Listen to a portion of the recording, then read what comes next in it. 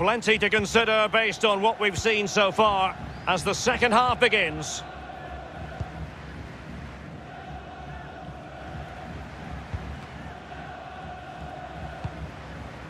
Norman. Can he finish? Didn't fool the keeper. So now a corner. Played into the centre of the box. And it's a goal! Level again!